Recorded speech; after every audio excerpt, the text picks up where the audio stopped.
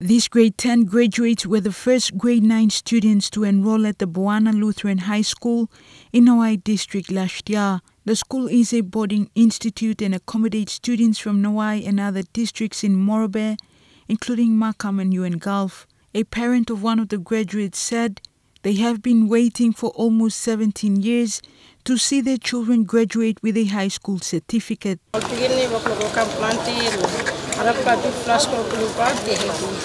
So now come no place na area no district almost na just like.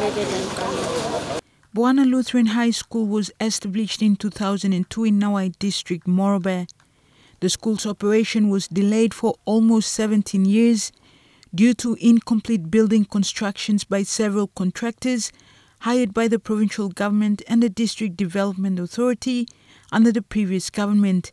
In 2018, Nawaeb DDA, headed by Chairman and MP Kennedy Wenge, completed the infrastructure. Formal classes for the grade 9s officially began last year.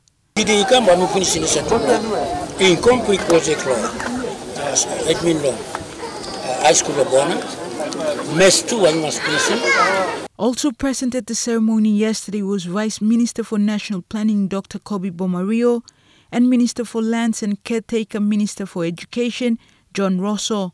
Rosso allocated 300,000 kina to the school through the Education Department to build a new science lab.